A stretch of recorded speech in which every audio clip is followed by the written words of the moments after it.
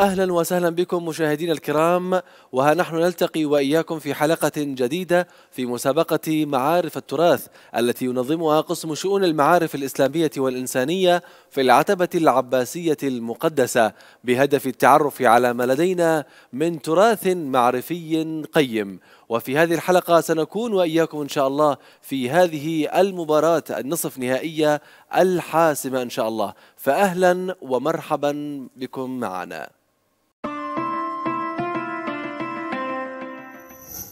والبداية معكم مشاهدينا الكرام والترحيب دائما في لجنة التحكيم الدائمة معنا في هذه المسابقة والتي تتألف من جناب الشيخ علي صالح الأسدي أستاذ في الحوزة العلمية. أهلا ومرحبا بكم جناب الشيخ. حياكم الله. نسأل الله التوفيق للجميع في شهر الله الفضيل. أحسنتم. أهلا ومرحبا. وكذلك كل الترحاب بجناب الدكتور ميثم مرتضى نصر الله أستاذ كلية التربية للعلوم الإنسانية في جامعة كربلاء. أهلا ومرحبا بكم. حياكم الله سيد مرتضى عادل آه، أبو المعالي. وفق الله الجميع في هذا الشهر الفضيل. أحسنتم شكرا جزيلا. وأيضا نرحب بجناب الأستاذ المحقق أحمد علي الحلي مدير آه، مركز تراث النجف الأشرف. حياكم الله وأهلا وسهلا بكم. مساكم الله بالخير وتحية عطرة وسلام مبارك. أحسنتم. وأيضا نرحب بالفرق المشاركة معنا في حلقة هذا اليوم مشاهدينا الكرام. والبداية مع جامعة أهل البيت. حياكم الله وأهلا وسهلا. وأيضا نرحب بجامعة العميد كلية الطب حياكم الله. حياكم الله.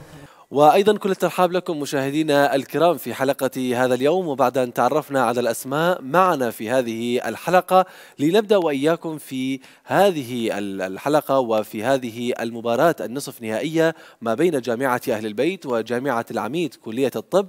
وكيف ستكون النتائج ضمن هذه المباراة؟ علما ليس هنالك وسيلة مساعدة لكلا الفريقين في هذه الحلقة كما أنه بالإمكان أيضا آه، الوصول للإجابات الصحيحة ضمن الجولات الثلاث فقط. وإذا كان الأمر تعادل حتى الجولة الثالثة بالإمكان أن ننتقل إلى سؤال الجولة الأخيرة. فعليكم التركيز ضمن هذه الجولات الثلاث والأسئلة التي ستكون ضمن هذه الجولات فقط.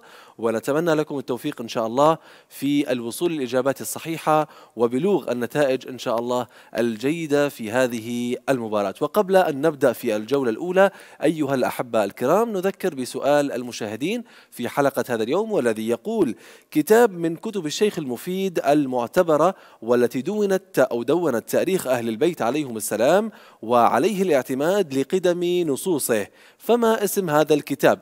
علينا أن نصل إلى الإجابة الصحيحة ونرسل هذه الإجابة من خلال رسائل الواتساب وعلى الرقم الظاهر أسفل الشاشة ونتمنى لكم إن شاء الله التوفيق جميعا في بلوغ الجوائز الثمينة المقدمة في مسابقة معارف التراث ومنها أيضا هذه الجوائز التي تقدم إلى الفرق المشتركة معنا في هذه المسابقة. فالجائزة الأولى هي زيارة بيت الله الحرام وأداء مناسك العمرة أما الجائزة الثانية فهي زيارة الإمام علي بن موسى الرضا عليه السلام. نتمنى للجميع التوفيق في هذه المباراة إن شاء الله وبلوغ النتائج الجيدة في ختام هذه المسابقة. والبداية نتعرف على الأخوة الكرام في جامعة أهل البيت. أهلا وسهلا بكم. حياكم الله أحمد نعيم جامعة أهل البيت عليهم السلام كلية العلوم الإسلامية. أهلا ومرحبا. الله يحفظكم حسين قاسم جامعة أهل البيت عليهم السلام كلية العلوم الإسلامية. حياكم الله. رعد عدنان شذر جامعة أهل البيت عليهم السلام. كلية العلوم الإسلامية. حياكم الله أهلا ومرحبا بكم جميعا. وكذلك نتعرف على الأخوة الكرام في جامعة العميد كلية الطب. أهلا وسهلا بكم. أهلا وسهلا بك حسين باسم جامعة العميد كلية الصيدلة. يا أهلا وسهلا. أهلا وسهلا بك أحمد محمد. كلية التمريض جامعة العميد. حياكم الله. جاسم إسماعيل كلية الطب جامعة العميد. حياكم الله جميعا. والبداية إذا معكم مشاهدينا الكرام ومع الفرق التي معنا في هذه الجولة. والبداية في الجولة الأولى مع آه، جامعة أهل البيت. والأبواب التي تظهر أمامنا الآن في الشاشة من أي الأبواب سنبدأ معكم في السؤال الأول ضمن هذه الجولة. مراقد ومقامات إن شاء الله. إذا على بركة الله نبدأ في مراقد ومقامات والسؤال لكم يقول عثمان بن سعيد العمري المعروف بالزيات هو السفير الأول للإمام الحجة عجل الله تعالى فرجه الشريف. يقع قبره في بغداد في ساحة الخلاني أم ساحة الطيران أم ساحة الميدان؟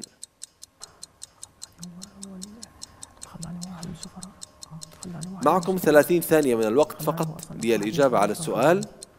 وحاولوا أن تركزوا في الإجابة. يعني أكيد مو ساعه الخلاني يعني واحد يوصف رأس من الخلاني.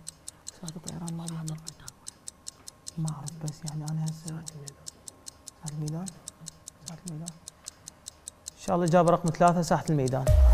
إذا نعتمد الإجابة الثالثة في هذا السؤال الأول معكم وننتقل إلى جامعة العميد. إلى أي الأبواب سنذهب؟ اختار المراقد والمقامات. إذا نبقى في المراقد والمقامات والسؤال لكم يقول المقبرة الشونيزية مقبرة دفن فيها أجلاء العلماء الأشراف تقع في مكة المكرمة أو بغداد أو سامراء.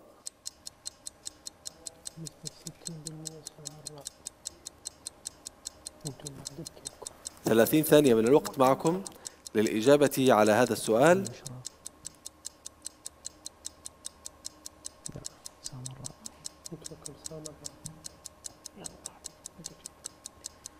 اختار الإجابة الثالثة سامراء إذا نعتمد الإجابة الثالثة كإجابة على السؤال الأول في هذه الجولة لديكم وننتقل بها مباشرة إلى لجنة التحكيم وإلى معرفة النتائج على هذه الأسئلة. دكتور ميثم ابتداء.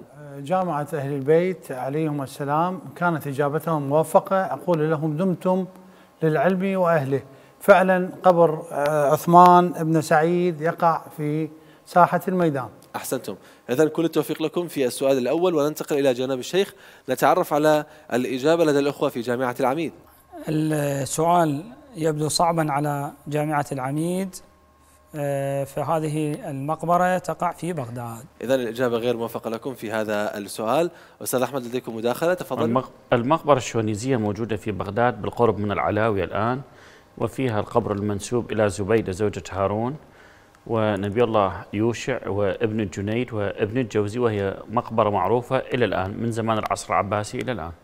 أحسنتم. شكرا جزيلا لهذه المداخلة وننتقل معكم مشاهدينا إلى جامعة أهل البيت ونواصل الأبواب والأسئلة التي لدينا. من أي الأبواب ستكون؟ مدارس. مدارس دينية مدارس دينية.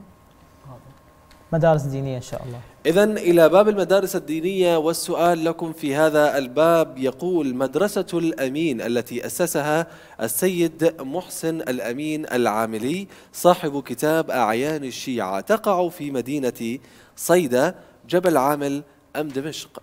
شو تقول؟ صيدا ولا جبل عامل؟ شو تقول؟ جبل عامل. جبل عامل ولا صيدا؟ جبل عامل. جبل عامل. جابر رقم اثنين. إذا نعتمد هذه الإجابة ونتمنى أن تكون موفقة معكم وننتقل مباشرة إلى جامعة العميد كلية الطب. إلى أي الأبواب سنذهب وكيف سيكون السؤال معكم؟ اختار إن شاء الله باب المدارس الدينية. إذا إلى المدارس الدينية ونطالع السؤال كيف سيكون مدرسة بناها السيد أبو القاسم الخوئي في النجف الأشرف. وهدمها النظام البائد سنة 1990 للميلاد. فأي مدرسة هي؟ هل هي دار الحكمة أم دار العلم أم مدرسة السيد أبو القاسم الخوئي؟ إن شاء الله الإجابة رقم اثنين دار العلم تقديم إن شاء الله من الإجابة.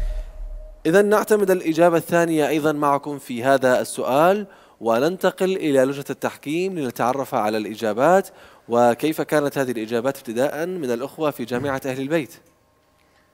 السؤال كان صعبا يعني لأنه السيد محسن أمين العاملي من أصله من جبل عامل لكن في آخر حياته بعد دراسته في النجف انتقل إلى دمشق وأنشأ مدرسة الأمين في دمشق وقبره في دمشق في صحن السيدة زينب عليها ظل الصلاة والسلام فالإجابة كانت غير صحيحة. للأسف الإجابة كانت غير موفقة في هذا السؤال لديكم. وأيضا دكتور ميثم نود أن نتعرف على إجابة الأخوة في جامعة العميد. نعم بالنسبة إلى إجابة جامعة العميد أقول لهم آه القول دائما وأبدا السلام على عميد آل هاشم السلام على سيد الماء السلام على حامل اللواء. الإجابة كانت موفقة. وصحيحة وهي دار العلم التي بناها السيد الخوئي. أحسنتم دكتور شكرا جزيلا وكل التوفيق. إذا عشر نقاط لدى كل فريق معنا في هذه الجولة والسؤال الثاني فيها وننتقل مباشرة إلى السؤال الثالث ضمن الجولة الأولى وكيف ستكون النتائج أيها الأحبة الكرام. معكم من أي الأبواب سنبدأ. مصطلحات تراثية مصطلحات تراثية إن شاء الله. إذا إلى باب المصطلحات التراثية والسؤال لكم يقول النسخة المجدولة لفظ يطلق على النسخة التي أوراقها مؤطرة بخط واحد أو أكثر أو فيها جداول حسابية أم فيها جداول هندسية.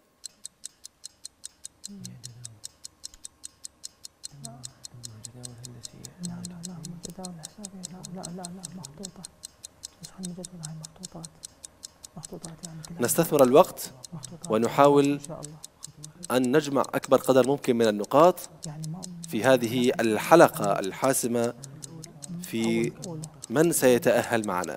إن شاء الله الإجابة رقم واحد. إذا نعتمد الإجابة الأولى وننتقل مباشرة إلى جامعة العميد. إلى أي الأبواب سنذهب في السؤال الثالث معكم. كاتب متاحف. لا لا لا. إن شاء الله مكاتب ومتاحف إذا إلى مكتبات ومتاحف ونطالع السؤال. السؤال يقول تقع مكتبة السيد أحمد بن الإمام موسى بن جعفر عليه السلام في سمرقند أم شيراز أم بغداد؟ سمرقند. اختار الإجابة الثالثة إن شاء الله بغداد. إذا نعتمد الإجابة الثالثة بغداد وننتقل إلى لجنة التحكيم. نتعرف على النتائج جناب الشيخ بالإجابات التي استمعنا إليها في هذا السؤال الثالث ضمن الجولة الأولى. والبداية مع جامعة أهل البيت.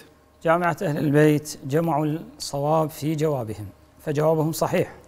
إذا كل التوفيق لكم في هذه الإجابة. وننتقل إلى الأستاذ أحمد. نتعرف على إجابة الأخوة في جامعة العميد. مكتبة السيد أحمد بن الإمام موسى بن جعفر عليه السلام. تقع في صحن مرقده الواقع في شيراز وقبره معروف في شيراز يعرف بشاه شراخ سيد النور. إذا الإجابة كانت غير موفقة. بدي إذا نتمنى لكم التوفيق في الجولات القادمة معنا ومشاهدينا الكرام نواصل وإياكم هذه الحلقة في مسابقة معارف التراث. بهذه النتائج نصل إلى ختام الجولة الأولى 20 نقطة لدى جامعة أهل البيت 10 نقاط لدى جامعة العميد ونذهب إلى فاصل لنعود بعده والجولة الثانية في مسابقة هذا اليوم ضمن مسابقة معارف التراث. ابقوا معنا. عودة لكم مشاهدينا الكرام بعد هذا الفاصل لنبقى وإياكم في مسابقة معارف التراث. ونواصل حلقة هذا اليوم ومباراة النصف نهائي ما بين فريقي جامعة أهل البيت وجامعة العميد كلية الطب ونتمنى إن شاء الله التوفيق لهما في بلوغ الجوائز القيمة المقدمة في هذه المسابقة والتأهل إن شاء الله إلى المباريات النهائية والتنافس على المركز الأول والثاني أو الثالث والرابع. كيف ستكون النتائج؟ نتعرف على الإجابات التي ستؤدي بنا لمعرفة هذه النتائج. إذا نبقى مع 20 نقطة لدى جامعة أهل البيت وعشر نقاط مع جامعة العميد كرصيد في هذه الجولة. لنبدأ بالجولة الثانية والبداية معكم يا جامعة أهل البيت. من أي الأبواب سنبدأ في هذه الجولة؟ خط وزخرفة إن شاء الله. خط وزخرفة إن شاء الله. خط وزخرفة إن شاء الله. إذا مباشرة للسؤال والسؤال لكم في هذا الباب. يقول من هو الخطاط صاحب القاعدة البغدادية في الخط العربي؟ هل هو الملا عارف الشيخلي أم صبري مهدي الهلالي أم الملا محمد علي الفضلي؟ نعم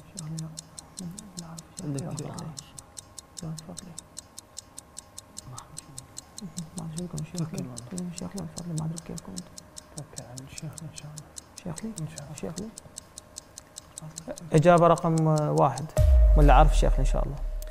إذا نعتمد الإجابة الأولى وننتقل مباشرة إلى جامعة العميد لنتعرف على أي الأبواب. سيكون السؤال معكم. مصطلحات تراثية.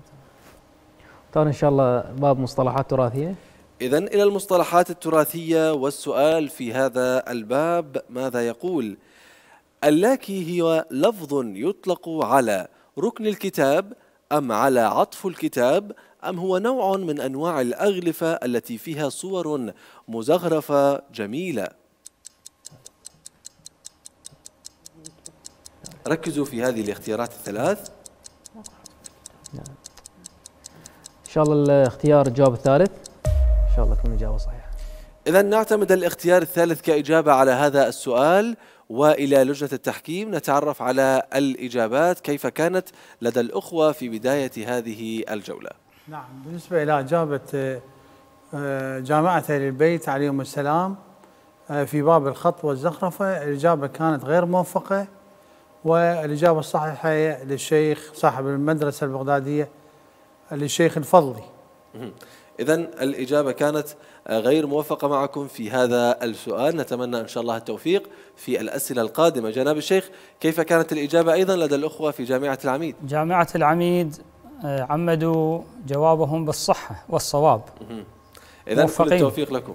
نعم. إذا أصبح معنا الآن 20 نقطة لدى كل فريق حتى هذه اللحظة مشاهدينا الكرام ونحن نواصل التقدم في هذه المسابقة وفي هذه الحلقة ضمن مباريات هذا اليوم والنصف نهائي ما بين الفريقين. وعودة لكم وإلى أي الأبواب سيكون معكم السؤال الثاني ضمن الجولة. مخطوطات تراثية. مخطوطات تراثية مخطوطات تراثية إن شاء الله. مخطوطات تراثية إن شاء الله.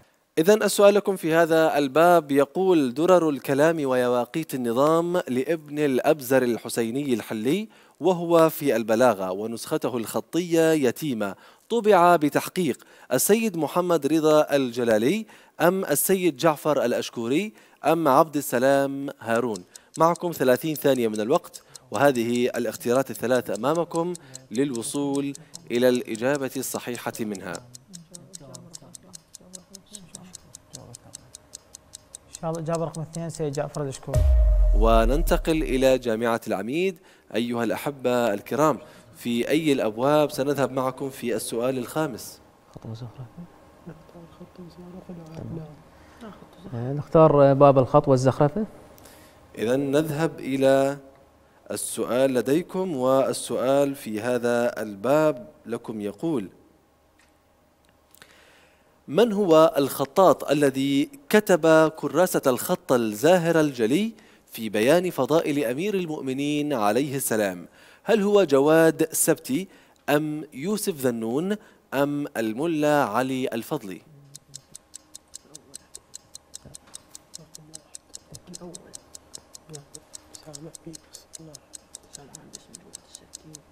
توكل على الله اجابه رقم واحد. إذا نعتمد الإجابة الأولى ونتمنى أن تكون موفقة في إضافة نقاط إضافية لما لديكم من رصيد. وإلى لجنة التحكيم نتعرف على موقف الإجابات لدى الأخوة في هذا السؤال. ومع أستاذ أحمد. الحمد لله جامعة أهل البيت وفقوا في الإجابة والإجابة الصحيحة. هي السيد جعفر الحسيني الأشكوري. الحمد لله. إذا كل التوفيق لكم. وأيضا لكم دكتور ميثم إجابة الأخوة في جامعة العميد. بالنسبة إلى إجابة جامعة العميد حول سؤال الخطوة الزخرفة أقول لهم أنتم أعمدة أعمدة العلم. إجابة كانت موفقة الإجابة رقم واحد وهي وهو الخطاء جواز سبتي. أحسنتم. شكرا جزيلا وكل التوفيق لكم في هذه الإجابة. إذا ونبقى معكم أيها الأحبة الكرام ونواصل هذه الجولة الثانية معنا والسؤال الثالث ضمن هذه الجولة معكم يا جامعة أهل البيت في أي الأبواب سيكون؟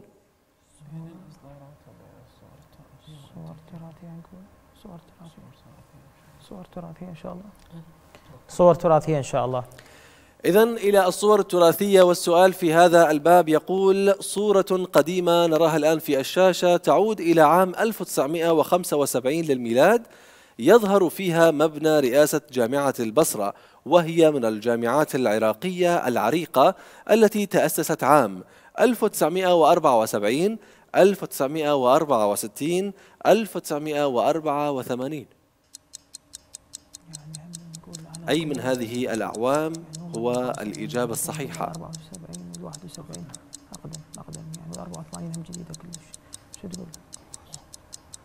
نروح على أقدم شيء باعتبار الصورة قديمة 64 إن شاء الله الإجابة رقم اثنين إن شاء الله سنة 1964 إذا نعتمد الإجابة الثانية ونثبت عليها معكم يا جامعة أهل البيت وننتقل في هذا السؤال إلى جامعة العميد وإلى أي الأبواب سنذهب معكم في هذا السؤال الأخير ضمن هذه الجولة.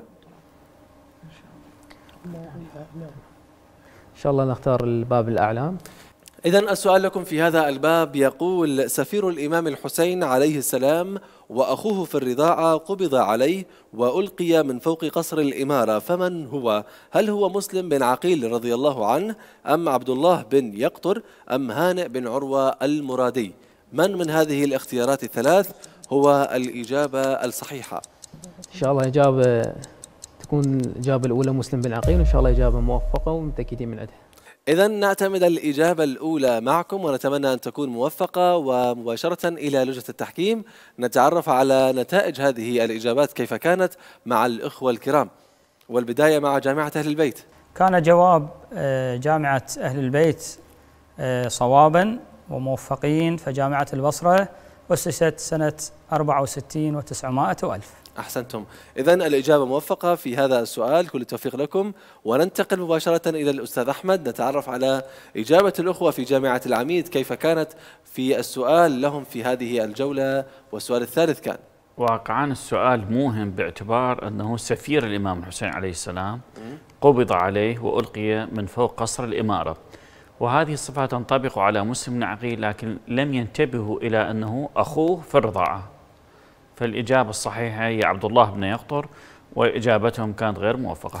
للأسف الإجابة كانت غير موفقة معكم في هذا السؤال والنتائج معنا أصبحت الآن 40 نقطة لدى جامعة أهل البيت و30 نقطة معنا في جامعة العميد ونبقى معكم والجولة الثالثة هي من ستحسم هذه النتائج. ومن سيتأهل معنا إلى المنافسة على المركز الأول والثاني ومن سيبقى معنا ويتنافس على المركز الثالث والرابع. نذهب معكم إلى فاصل قصير بعده لنا عودة لنواصل وإياكم حلقة هذا اليوم ومسابقة معارف التراث. فابقوا معنا.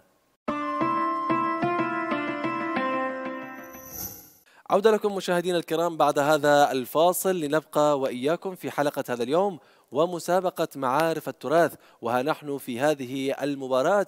النصف نهائية ما بين فريقي جامعة أهل البيت وجامعة العميد كلية الطب لنواصل وإياكم هذه المسابقة وهذه الجولة الثالثة وكيف ستكون النتائج من كلا الفريقين. وقبل أن نبدأ بهذه الجولة نذكر بسؤال المشاهدين في حلقة هذا اليوم والسؤال يقول كتاب من كتب الشيخ المفيد المعتبرة والتي دونت آه، تاريخ أهل البيت عليهم السلام وعليه الاعتماد لقدم نصوصه. فما اسم هذا الكتاب؟ عليكم الوصول إلى الإجابة الصحيحة وإرسالها من خلال رسائل الواتساب وعلى الرقم الظاهر أسفل الشاشة ونتمنى لكم جميعا إن شاء الله الفوز معنا في هذه المسابقة. أما الآن نعود معكم وإلى الفريقين جامعة أهل البيت وجامعة العميد لنبدأ بالجولة الثالثة. ومعنا 30 نقطة هنا في جامعة العميد و40 نقطة هنا معنا في جامعة أهل البيت. والبداية معكم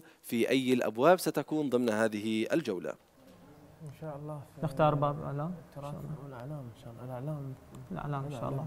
الإعلام إن شاء الله. بالضبط الإعلام إن شاء الله. إذا نذهب إلى باب الأعلام. والسؤال لكم يقول من أصحاب أمير المؤمنين عليه السلام ذهبت عينه اليسرى يوم الجمل واليمنى يوم صفين. قتله عبيد الله بن زياد بعد مقتل الإمام الحسين عليه السلام. فمن هو؟ هل هو عبيد الله بن الحر الجعفي؟ أم سليمان بن سرد الخزاعي أم عبد الله بن عفيف الأزدي؟ عليكم التركيز بالإجابات والحفاظ على ما لديكم من نقاط في هذه الجولة. عبد الله بن عفيف. سليمان بن سرد سليمان بن سرد لا بعدين شو اسمه عبد الله عبيد الله بن الحر الجعفي يمكن الامام الحسين من اصحابه تبقى عندنا بس عبد الله بن عفيف ثبت ثبت الإجابة رقم ثلاثة إن شاء الله عبد الله بن عفيف الأزدي.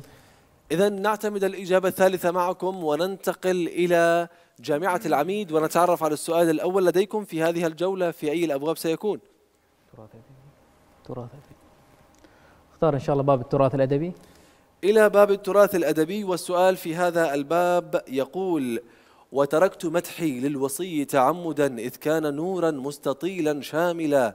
وإذا استقل الشيء قام بذاته وكذا ضياء الشمس يذهب باطلا. بيتان في مدح الإمام علي عليه السلام من نظم أبو فراس الحمداني أم أبو الطيب المتنبي أم الشريف الرضي. إن شاء الله الإجابة رقم اثنين أبو الطيب المتنبي. إذا نعتمد الإجابة الثانية معكم ونتمنى أن تكون صحيحة وموفقة في هذه المرة. وتعدل ما لديكم من نقاط وفارق مع الفريق الآخر وإلى لجنة التحكيم لنتعرف على طبيعة هذه الإجابات. بالنسبة إلى جامعة أهل البيت عليهم السلام آه، في باب الأعلام أقول لهم أنتم أهلا للعلم وسهلا. فعلا كانت الإجابة صحيحة. آه، عبيد الله بن زياد آه، قتل عبد الله بن عفيف الأزدي بعد مقتل الإمام الحسين عليه السلام. فالإجابة كانت فعلا الإجابة الثالثة وهي صحيح إذا كل التوفيق لكم في هذه الإجابة.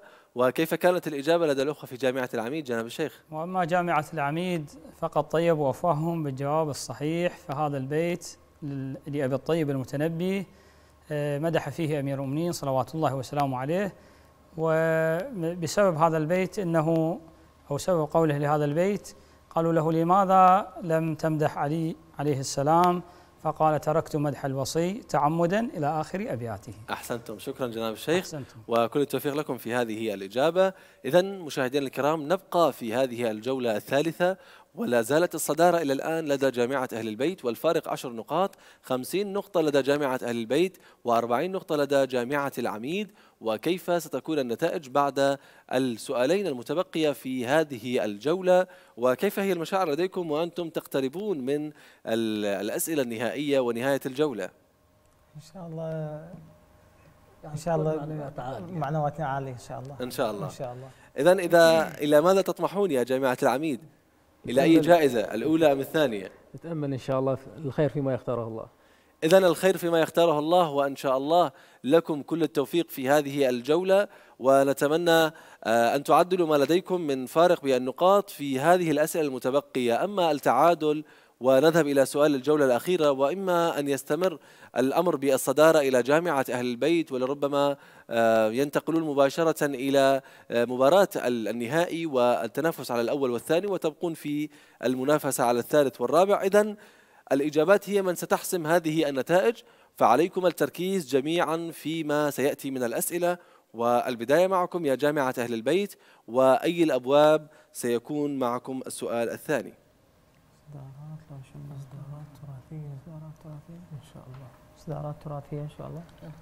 إصدارات تراثية إن شاء الله. إلى باب الإصدارات أيها الأحبة الكرام نذهب معا والسؤال يقول موسوعة تاريخية صدرت عن مركز الأبحاث العقائدية في عدة مجلدات تناولت دراسة كاملة عن الصحابي ابن عباس وهي من تأليف المحقق السيد محمد مهدي الخرسان فما عنوانها؟ هل هي موسوعة عبد الله بن عباس حبر الأمة وترجمان القرآن أم ابن عباس حياته وتفسيره أم الصحابي عبد الله بن عباس؟ بما إنه تناولت دراسته كاملا عن الصحابي وهي عليكم الانتباه والتركيز والحفاظ على ما لديكم بنفس الوقت من نقاط في هذه الجولة الأخيرة ضمن حلقة هذا اليوم ومسابقة معارف التراث. إن شاء الله الإجابة رقم واحد موسوعة عبد الله بن عباس حبر الأمة وترجمان القرآن. إذا نعتمد الإجابة الأولى معكم وعلها أن تكون صحيحة وموفقة في هذه الجولة الأخيرة. لننتقل إلى جامعة العميد. والسؤال الثاني في هذه الجولة في أي الأبواب سيكون؟ صور تراثية. صور اختار باب صور تراثية إن شاء الله. إذا إلى باب الصور التراثية والسؤال يقول في هذه الصورة التي نراها الآن في الشاشة هو نصب رمزي يجسد الخليل بن أحمد الفراهيدي وهو من أهم أئمة اللغة والأدب. وواضع علم العروض ولد سنة 100 للهجرة فأين يقع هذا النصب؟ هل في محافظة البصرة أم محافظة ذي قار أم محافظة المثنى؟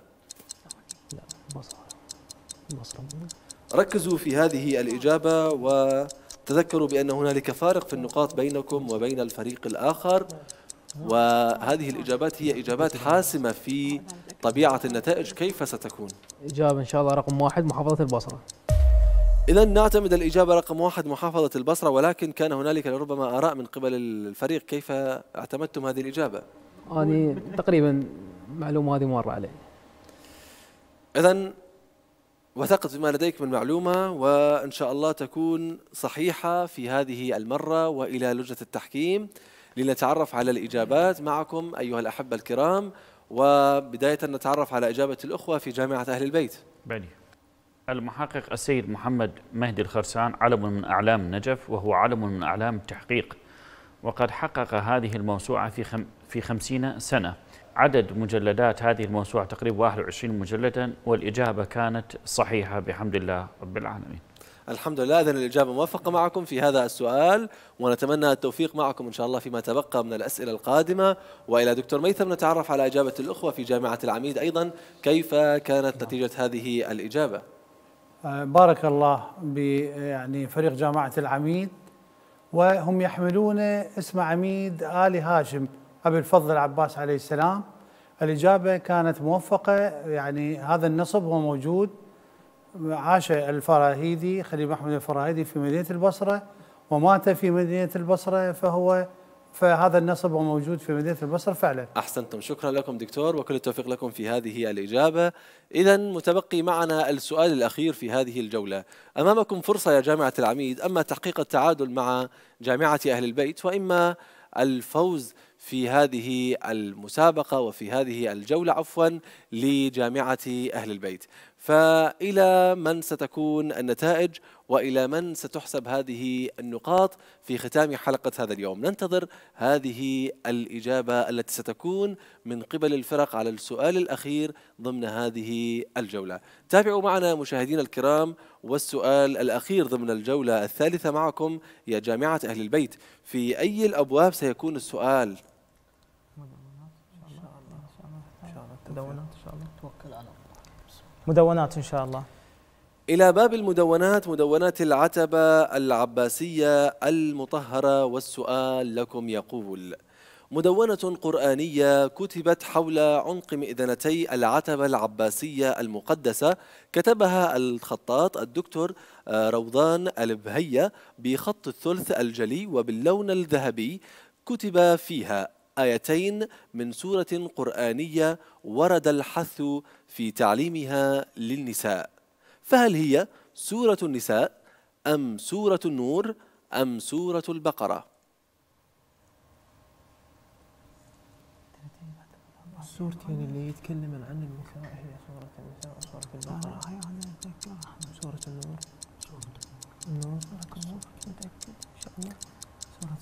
ركزوا فيما لديكم من سؤال. أيضا الإجابات لربما متقاربة. هذه الاختيارات الثلاث. فعليكم التركيز والحفاظ على ما لديكم إجابة من رقم اثنين إن شاء الله سورة النور. إذا نعتمد الإجابة الثانية سورة النور. ونتمنى أن تكون إجابة صحيحة وموفقة. هذا السؤال هو الفيصل في الإجابات. متأكدين من هذه الإجابة؟ إن شاء الله. إن شاء الله. إن شاء الله. من كان صاحب هذه الإجابة؟ يعني بالدرجة الأولى يعني هو اختصاص. قسم علوم قرآن كريم. آه. إن شاء الله. فكانت الإجابة واثقة إن شاء الله. الله. إذا نعتمد هذه الإجابة والسؤال الأخير ضمن الجولة الثالثة معكم ونذهب إلى جامعة العميد. في أي الأبواب سيكون السؤال الأخير ضمن هذه الجولة؟ إن شاء الله إصدارات تراثية. إلى باب الإصدارات التراثية والسؤال نطالعه معا ماذا يقول؟ كتاب رياض المسائل في تحقيق الأحكام بالدلائل. من تأليف الشيخ الوحيد البهبهاني أم الشيخ مرتضى الأنصاري أم السيد علي بن السيد محمد علي الطباطبائي. إن شاء الله الإجابة أنا متأكد منها. السيد علي بن السيد محمد علي الطبطبائي. إذا نعتمد الإجابة الثالثة ونذهب مباشرة إلى لجنة التحكيم لنتعرف على النتائج. ولجنة التحكيم كيف كانت النتائج مع إجابة الأخوة في جامعة أهل البيت وكذلك في جامعة العميد؟ نعم جامعة ال- أهل البيت آه، أناروا دربهم بهذا الجواب. سورة النور هو الجواب الصحيح وهذه السورة سميت بهذا الاسم. لآية النور الموجودة فيها. بسم الله الرحمن الرحيم. الله نور السماوات والأرض مثل نوره كمشكاة فيها مصباح إلى آخر الآية. أحسنتم. أحسن كل. التوفيق لكم إن شاء الله في هذه الإجابة الموفقة. وأيضا نتعرف على إجابة الأخوة في جامعة العميد آه، أستاذ أحمد. الإجابة بحمد الله كانت موفقة فقد خاضوا في رياض المسائل وأجابوا بالإجابة الصحيحة. شكرا لكم أستاذ أحمد وكل التوفيق لكم في هذه الإجابة وإن كانت صحيحة ولكن النتائج إلى الآن التي وصلنا إليها في نهاية الجولة الثالثة ضمن حلقة هذا اليوم هي 60 نقطة معكم يا جامعة العميد. و70 نقطة معكم يا جامعة أهل البيت. وهذا يعني بأن تأهل فريق جامعة أهل البيت إلى النهائي والمباراة الأول والثاني والتنافس على هاتين المركزين. أما جامعة العميد فلها أن تتنافس على المركز الثالث والرابع ونتمنى التوفيق لهم جميعا إن شاء الله في هذه المسابقة والجوائز القيمة المقدمة فيها. فالأولى منها هي زيارة بيت الله الحرام وأداء مناسك العمرة والثانية هي زيارة الإمام علي بن موسى الرضا عليه السلام. وأنتم أيضا أيها الأحبة الكرام لكم فرصة في الفوز معنا من خلال الإجابة على سؤال البرنامج. وسؤال حلقة هذا اليوم يقول كتاب من كتب الشيخ المفيد المعتبرة والتي دونت تأريخ أهل البيت عليهم السلام وعليه الاعتماد لقدم نصوصه فما اسم هذا الكتاب؟ عليكم كتابة اسم هذا الكتاب من خلال رسائل الواتساب وإرسالها على الرقم الظاهر أسفل الشاشة ونتمنى لكم التوفيق. شكرا لكم لجنة التحكيم الدائمة معنا في هذه المسابقة وشكرا لفريق جامعة أهل البيت وكل التوفيق لكم إن شاء الله. وأيضا كل التوفيق لكم أيها الأحبة في جامعة العميد ونتمنى التوفيق لكم جميعا أيها الأحبة الكرام على أمل أن نلتقي وإياكم في حلقات قادمة إن شاء الله في مسابقة معارف التراث والحلقات النهائية المتبقية معنا إن شاء الله. كونوا على الموعد إن شاء الله وإلى ذلك الحين. أستودعكم الله والسلام عليكم ورحمة الله وبركاته.